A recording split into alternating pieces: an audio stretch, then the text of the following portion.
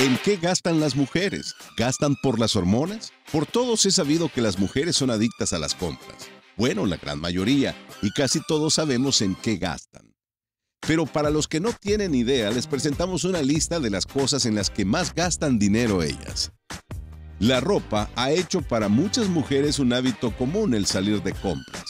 No basta tener cambios necesarios para vestir día a día, ellas quieren tener lo mejor, lo último y lo más novedoso, no importa que cueste un dineral. El maquillaje es otra cosa muy indispensable en sus bolsillos, pues consideran que siempre lo necesitan para estarse retocando y además deben estar preparadas para cuando no les da tiempo de ir al salón de belleza. Los zapatos también son cosas que siempre están comprando a pesar de no necesitarlos, porque ellas los ven como parte de su look, moda o belleza. Los bolsos y otros accesorios no quedan afuera de esta lista. Muchas mujeres compran decenas de bolsos, a veces uno para cada conjunto que tienen en ropa, todo dictado por la moda. Oler bien no es la excepción. Millones de mujeres también gastan verdaderas fortunas en perfumes caros y lociones de marca.